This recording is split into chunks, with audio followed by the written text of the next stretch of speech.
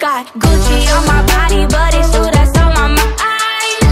You know I think about you all the time. I'm pretty stoked right now because uh, I've got a superstar sitting next to me. You guys may know her as Baby Ariel. I know her as my new best friend. Oh, hello. Thank you. Okay. Thank you. Hi, best friend. We're just planning our slumber party here at the Dream Hotel. yeah, we are. Um, so we are so excited to have you on here because the main goal of our show is to interview people who can inspire through their own successes. And you have had a lot of success. oh, thank you so much. And you're so young. thank you. Um, you're on the Kylie Jenner track. Like, Oh my goodness. as far as like you're already mentioned in Forbes, and you're younger than Kylie was when she got mentioned in Forbes. I'm just doing some math. I'm, thank you. I love Kylie Jenner so much. Who doesn't? to like to that, that was thank you. I'm just saying you're on that mogul path. I feel it. Thank you. I appreciate it. Um, for people who may not know, you got your start on a On- tiny little app. a tiny little just a little thing. It's it was musically now it's called TikTok. Mm-hmm. So I started about three years ago making lip sync videos of myself. It was the summer going into ninth grade, and um, yeah, I took music. I took 15 seconds of songs, started making these lip syncing videos using hand motions and facial expressions, and people really liked the way I was making my videos, and I started to gain a following on Musically slash TikTok. Um, and yeah, from there really began the journey of social media and transitioning into doing, you know, longer videos and also, you know, bringing my acting and my singing in the picture as well. Which a lot of big things coming out that we will tell you guys about. But let's go back to that day in ninth grade. Yeah, that day. That, that exact day. You just had your after school snack. What- Yes. What, were you? So this app comes out. Did you know that it was going to be as big as it was when you first downloaded it? No. So really what happened was I was okay, from this the summer that I was going into ninth grade, my house got a flood randomly. I don't a pipe broke under I don't know what it was. And so we moved into our grandparents' house. And my brother and I spent tons of time at my grandparents' house as they were like fixing my house. It was a summer of being at my grandparents' house with my brother. And we were on our phones a lot and we found this app like randomly. We're like, oh my God, this is so cool. It's fun. It's different. Let's do this. And we just really dove into it, not knowing what it would become at all. You what know? it would become and also what it would do for you like you know it's I not just the app blew up it's not like the app blew up and you were like still at grandma's right Thank you. no i mean it's true so do you remember the first one that you did Yes, the first one. Oh my gosh, I think it was a Nicki Minaj. It was to Nicki Minaj, I'm legit, or high school. I forgot what it was, but I remember sitting in my room, no, my, not my room, my parents' room at my grandparents' house on their bed. And it took me like a good three hours, I think, to make this one 15 second clip. But because we were like, you know, at their house, like we had time to just really play and You be had all the creative. time. Yeah, we had time to just do our thing on this app. And I was going to spend my time on it. And I spent like three hours doing that one. what is the trick behind getting a good musically like you have it down you've got like i've wa- i got in a, i went through a very dark hole like i just watched because you can watch so you can watch them for hours Oh and your fans make it very easy it's like compilation video on Oh my all those you guys love her I love you guys. Thank Yeah. you. so yeah like what's the what's the trick is it just do you have to take that much time on each one or did mm. you get to the point where it was like you could yeah. I mean, now I do them quicker for sure. But I don't know. I guess, you know, when it comes to like my whole family, like my mom did theater her whole life. So it was always, you know, acting and using facial. I've always wanted to act since I was little and sing, you know, and use my emotions for art. And this was just another form of putting all those things that I like to do into this video. So I would just use my facial expressions. I would use the music based on what they were saying in the video. I don't know. It kind of just like came. And, I you probably s- didn't think it was that big of a deal. You're like, this is fun and cute, and I'm doing it, and it's great. When did you start to notice, like, wait a second, uh, people are following me, and there's not, it's not just like grandma. It's, Yeah, I know. I keep bringing grandma into this situation. No, yeah, it was. I want to say, actually, surprisingly, the first time somebody came up to me in public, and it was actually at Old Navy with my grandma. I remember it like it's yesterday. I was in line to because she I think we were going into ninth grade and I needed polo shirts. No, my brother sorry was going into like sixth grade. He needed polo shirts. shirts. So we went to Old Navy with my grandma and my brother, and we were in line and this girl came up to me and she's like, "Oh my god, hi, are you Ariel?" And I was so confused because I was like, "How does somebody know who I am?" And my grandma was even more scared for my life because she doesn't even she doesn't know what is social media. Yeah. we were all just like really confused. And when she, we talked it out, I was like, "Okay, you know me from social media." That's when it was like, "Whoa, this isn't just you know something on my phone. and It isn't just numbers, just comments There's through a screen. It's real." Yeah, because like before you meet someone, it's really just you know user number blah blah blah blah blah commented on your picture. But then, at least before I ever met somebody in public, you know, and then when you meet them, it's like, oh my god, you're a real person and you really follow me and you like my musicallys and everything that I'm doing. and you're recognized in a public that has to be so surreal It was so weird. for the first time how long was it from that day in old navy from the day on the bed in grandma's house It was like how how long did it take before somebody recognized you I want to say like three months. Mom, you're starting to correct me. three months, right? Three, four months. that's insane that's Right? absolutely I don't- I'm trying to think. insane so Four months, yeah. were other people in your school also doing musically or was this something that you kind of just discovered Yeah, so um, it was surprisingly, I have known one of my best friends this day, Adi, if you're watching, hi Adi, um, Ari, Ariana. She and I met in sixth grade Okay. of middle school. And we went through sixth grade together, seventh grade, eighth grade. We are best friends, and we found this app together, you know, during that summer, and we both started gaining a following at like the same time, which is super weird because and we live like right next to each other. We're best friends, mm-hmm. and for both of us to start this journey together was crazy to me and to both of us. But honestly, like having her, having each other through this whole process, I think me with her and her with me, like to have each other and to understand each other and somebody who knows who I am as like a real person, who also knows what I'm going through and knows the traveling and, under, and is just on the same path as I am. Um, it's really cool to have someone like that. So you talk about the path that you were on in that moment. obviously, you didn't think I'm gonna be like I'm gonna do musically for the rest of my life. Yeah. this was something that was fun. It was obviously a stepping stone that you didn't even expect it to be. Yeah. Um, what was something that you kind of always knew that you're you're you were destined for, or a dream of yours? it was it's definitely still to this day singing and acting and writing and when it comes to like music and movies though those two things are and tv shows even those two things are my favorite things in the whole entire world. Like like i said like my mom she has done theater her entire life. So that's one thing that my brother and i would always do with her. Like she has all these monologues in her library at home or her office her library she her library in her office at home and we would just pull these monologues and do them you know? And then my dad he was in a band and he's a musician he loves music he plays guitar. So i've been and piano also. So i've been like singing and playing piano since i was like I don't know, five, I don't something like that. I don't, so it's always just been who I am and who my family is and what I wanted to do.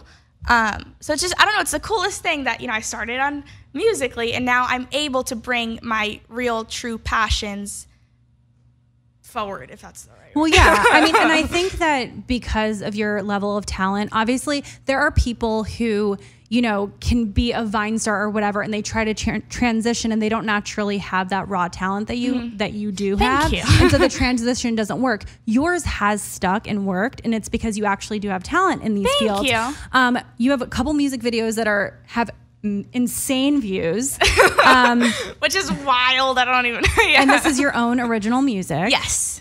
So when did the transition start where you were like, okay, I'm gonna and by the way, you do take your music seriously. You're not just doing it as like a spoof music video to get views. Like No. you are on a music journey Yes. as well as acting, which we'll also get to. Thank so many things. See, she's a mogul. um, so so how did you then say, all right, I'm gonna get in the studio or do whatever I need to do to really flourish as an artist? it was kind of I don't know, it's weird. It's one of those things that it's what I always wanted to do and it was just about when is the right time to do it and when is the time that I feel strong enough with my voice and my music and my writing and everything to make the transition and to get into the studio, you know? Was school a factor? Because you're still very young at this point, and I'm sure you were thinking about music. Um, and a lot of times people are forced to choose between the two. How Yeah. did you navigate that? So I, okay, so ninth grade, I went to school for a month, I want to say, in ninth grade before I realized it just, one, I got, okay, there's two things. One, I got approached to do a tour that was like a month long, and I couldn't do the tour and be in school at the same time. And, you know, as a family, we had to sit down and discuss what direction, what do we want to do.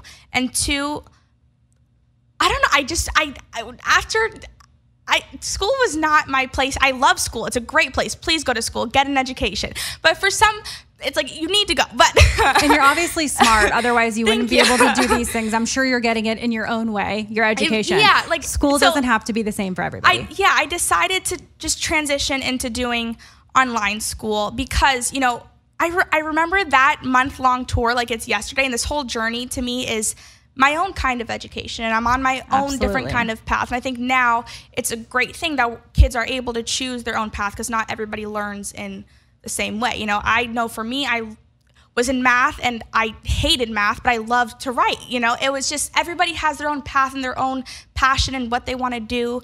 And school is not my normal school is not my and I just Nothing's normal. I, I honestly don't think anything's normal anymore. Everybody just do what works for you. And I love that you discuss it as a family. I think that that's really beautiful. And it's really cool that obviously your family supports your creative stuff mm-hmm. because your parents are both very creative, which I'm. Yeah. sure really helped you Oh, along the way. percent. I mean, like ever, like my you guys, like my team, my family, like have been the most.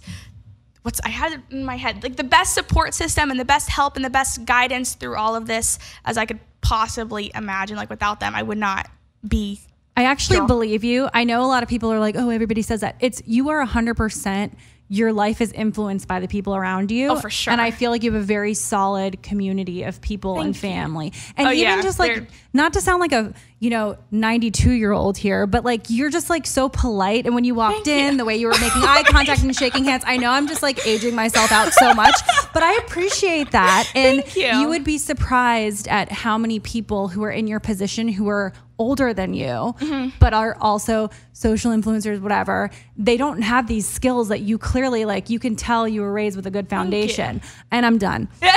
I mean, like, yeah, like luckily, like honestly, I can't even say it's me. It's like the people around. Like I've been blessed with the best family ever. Like in Florida, we live, you know, five minutes away from each other, and they're just great. I don't know. Yeah, no, I get that. so that. Thank you. So that's great, but it also obviously you're a very hard worker and very talented. So what has been because we like to give inspo to the people that are watching and also your fans. What has been because I don't love to always. I think that on social media and we see all these successes. We see Forbes articles about you. You're winning Teen Choice Awards left and right. You probably just won one as I said that.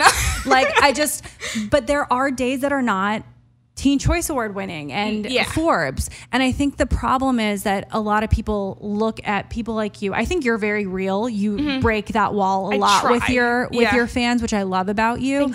But what would you say has been the most challenging thing for you on this journey? it really like like you said sometimes it's hard to go from those like i have i had to learn how to put everything into their own little boxes and not mix everything together. Because as soon as i you know decide my confidence and rely on my confidence based on my instagram likes for example or whether i won that teen choice award or mm-hmm. whether i got on that list that's when i think everything in my head starts to my emotional level starts to get all mixed up Well, you're human, yeah i'm so human. okay. and like you know i can't you know sometimes i'm not going to win that teen choice award and that's okay. It's not me. I'm going to still do me and i'm going to be who i am and i'm going to fight through everything. And just because that picture didn't get as many likes as i wanted it to and i thought it would that's okay you know? And i think that's one thing with this new wave of social media that i've seen a lot of you know my supporters and people talk to me about and people just say in general that it is hard to go on social media sometimes. And if you're not uh, i don't know how to put this like it's not good to find your validation through social media And so many people do now. yeah exactly Yeah, and especially you, somebody who, you know, your social media following is massive on every platform that you decide to log into and start a you know, a profile on. How do you yourself keep balanced and like not allow that to dictate a day? Like, because I'm I've seen comment people are can be really mean. Mm-hmm. How do you compartmentalize that in a way and maybe this is good advice for people who don't have millions of followers like you but maybe you know they get a mean comment or two or they didn't get as much likes as their best friend did how what advice would you give that person about social media and how to compartmentalize that and Yeah. not make it so heavy you truly as hard like as i don't know if as hard as this may sound or as easy you have to learn how to disconnect from your phone because what other people through the screen who don't know you say about you means absolutely nothing what matters are is your family and the people who love you and the people who you know know you the people who you love people who you respect their opinion they respect your opinion that's what matters and what matters is what you want to do in life. You know, I had to learn how to put my phone down sometimes and say, you know what? Is this making me happy right now? No, it's not making me happy right now. I'm going to go outside and I'm going to sing. And I go outside and I sing because that's what makes me happy. You have to focus on yourself and focus on the people that you love, what you love to do, and um, what makes you happy, I yeah guess. no that's really really good advice and and also you specifically have kind of like grown up online Yeah. in a sense like you were really young when you first started musically you're 14 right 13 14 Mm-hmm. I was 14, yeah. That's really really young and now you're like entering adulthood not like totally adult but you're entering into that yeah. world right how has it been growing up in front of so many people and like i know awkward teenage years were weird for me and i didn't have people scrutinizing every move that i make is Mm-hmm. yeah. that tough for you It definitely gets weird because I know, like, I, I don't know. I was thinking about this the other day. It's funny that you say that. Um, I remember, I think sadly, Ariana and Pete broke up, right? And rip I know. I was like so sad. I was like, my God, I was why'd really they break up? I was like, why they break up?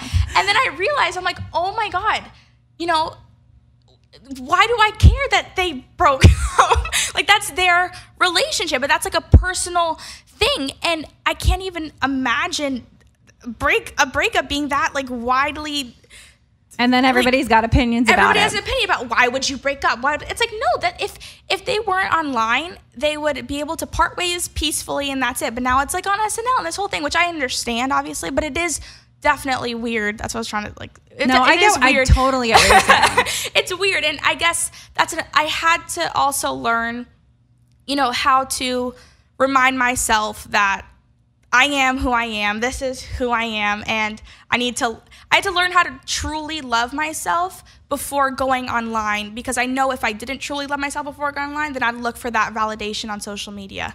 Um, and then also learning how to take some things off social media. Like not every breakup has to go online. No, not I think it, I think it's all about boundaries. Honestly, like Yeah. I always say this, and this is not to like go on a tangent, but one of the main reasons when you came in and I was like, we don't do gossip, we just focus on the career and like Mm-hmm. what you've got going on. The reason I do that is I come from a TV background where I've done a lot of like celebrity stuff, and I remember one day getting an argument with an executive producer, and I'm like, I don't want to talk about their breakup. Like, what's it to us? They're, everyone's Yeah. like, but they seem so happy. I'm like, of course they seem happy on a red carpet. like no one knows when you're fighting at home over something or you're like silent in the car because you got an argument. Exactly. Everyone's happy on a red carpet. Exactly. And also it's none of our business. Like No. let's focus on the movie that they just put out or whatever. I, I feel like there's this weird thing with media where we feel and not we because I took myself out of that, but where there's like an entitlement to Mm-hmm. to personal lives. And I really commend you for putting boundaries on that. yeah, you have to, or else, like, I, I don't. It's Like you're so much more than your personal life. Your personal life is very important, obviously, but like Yeah. other people, it's not. You know. yeah, like it's okay. Like with if Pete and Ariana broke up, like the fact that I I can't e- like I can't even imagine. But I get why you were emotional because I yeah, was too. I was so emotional, and then. I had to take a step back, and I'm like, wait, Why do I care? why care? do I care? Yeah. like because that's their life, and I can't e- like they were engaged. I can't like what happened. Well, And I think we're humans and we're just thinking of breakups for our, you know, like breakups we've been through or whatever.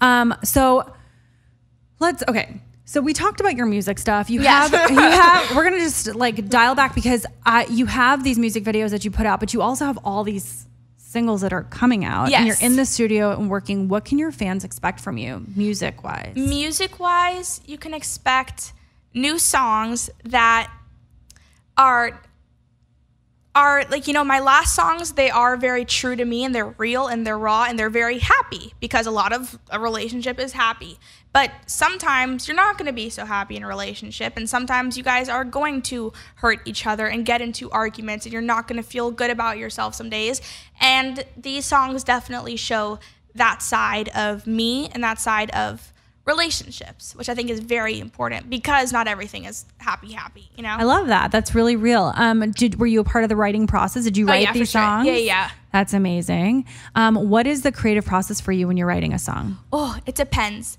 Um, most of the time, I'm in my room by myself and I am crying and I want to write everything down on a freaking piece of paper and sing melodies. Or I'm in a room uh, with amazing writers and producers and we kind of bounce ideas off of each other. We'll lay different melodies down, lay different lyrics down, and create this song together. So mom and dad are obviously very creative. Dad, Yes. dad's in music as well, Yes. right?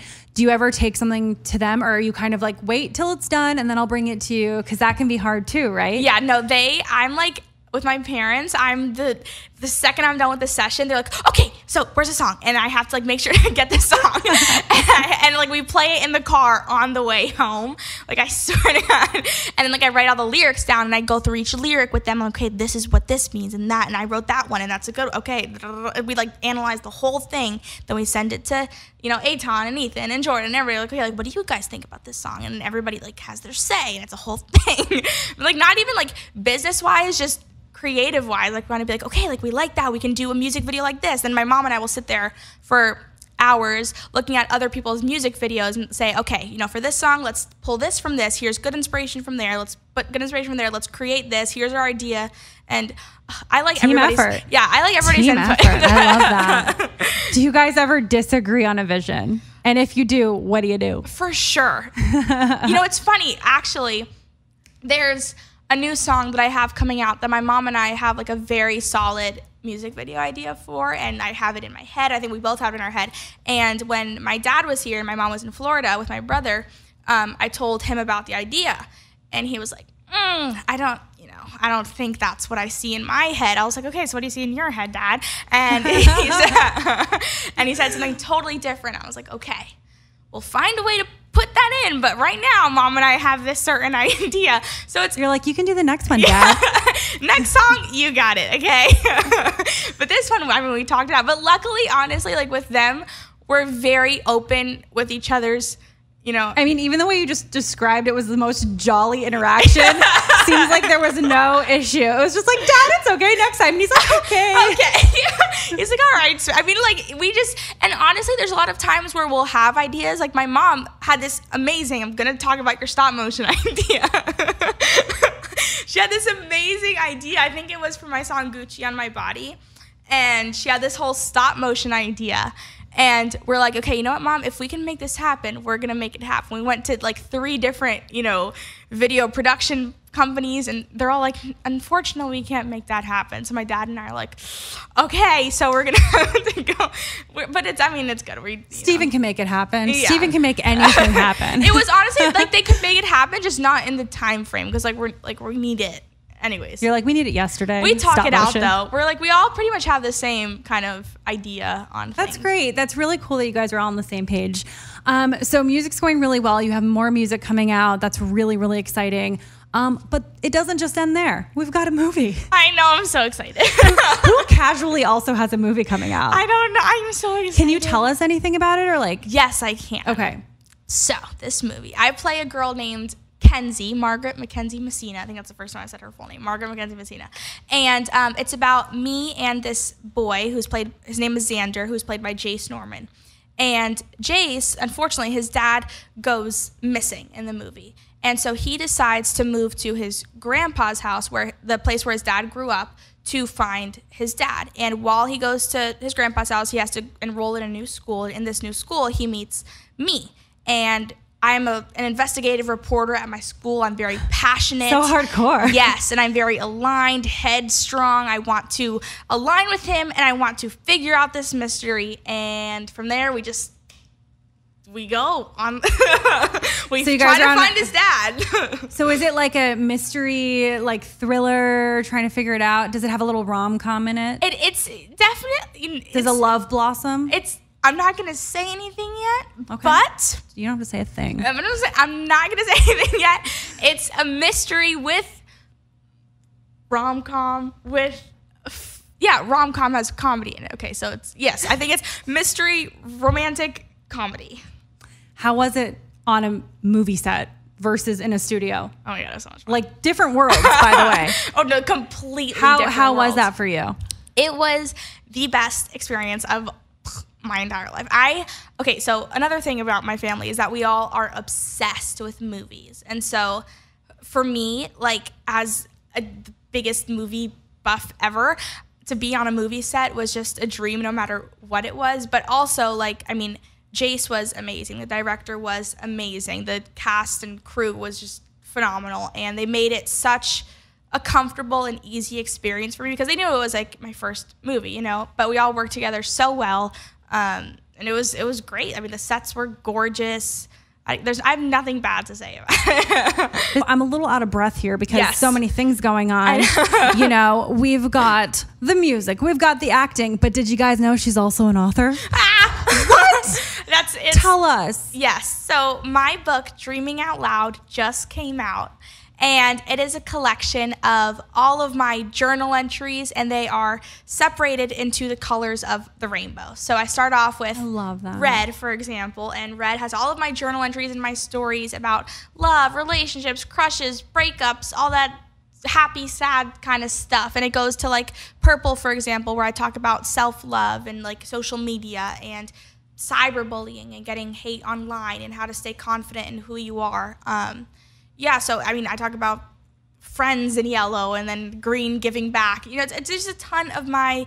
What a real cool story. Thank you. Uh, How did you even come up with that? That's so fluid. It just you. makes so much sense. Thank you. I mean, it was. It's weird. I've always like, in my the way my brain works sometimes is I see different um like emotions as colors. So I was like, okay, like the only way in my brain, like the only way that makes sense for me to do my book is to separate it into the colors, which to me are emotions. Like I just I don't know, like red is happy, like that. red is love, you know. And so that's just how I we did it. The other thing I really love, and I wanted to share this with you, you have all these things going on, but you still connect with your fans on YouTube. Yes. And your social platforms, which I think is so beautiful. Thank like you you're so not much. too, you know, some people are like, I can't, your fans love you so much. Thank and that you. connection I think is really important. Thank you. So, and yeah, I, I really, I really commend you for all of your hard work because it's not easy going from a music studio set to, um, you know, movies to then like being like, hi guys, I'm here on YouTube. I mean, I don't know how you do it. Thank you. But um, big things are coming for baby Ariel, and we're gonna keep track. We hope you enjoyed this. Make sure you guys show her some love on her social. She has like no followers, so it'll be hard to find her. Um, but it's just baby Ariel everywhere. yeah, baby Ariel everywhere. You already knew that though, so I don't even know I Thank you. wasted my time. Bye, guys. Bye.